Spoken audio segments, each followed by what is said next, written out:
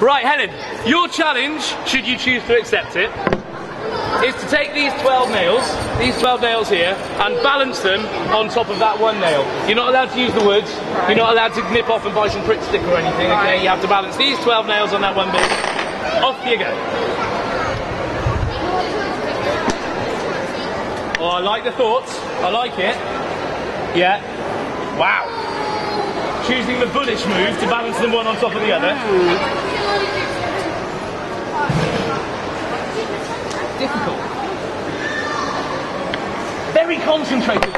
Oh, Oh, I don't know.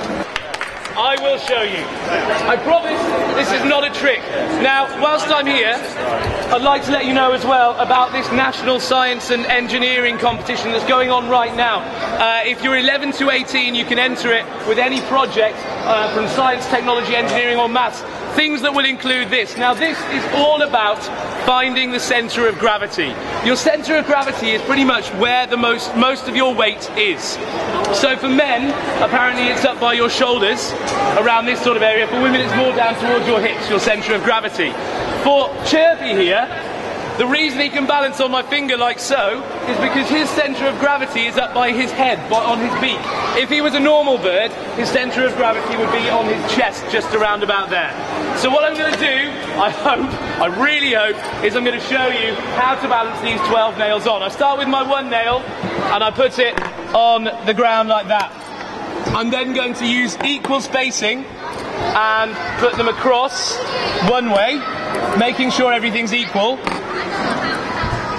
And then I flip them over, the rest of the nails, and I do exactly the same on the other side with five nails. And then with the last nail, making sure they're all balanced, I put this nail over the top. Now here's where this goes wrong sometimes, so bear with me.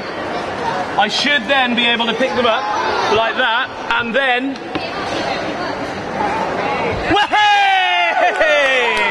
12 nails on top of one. Ladies and gentlemen, it's all about the centre of gravity.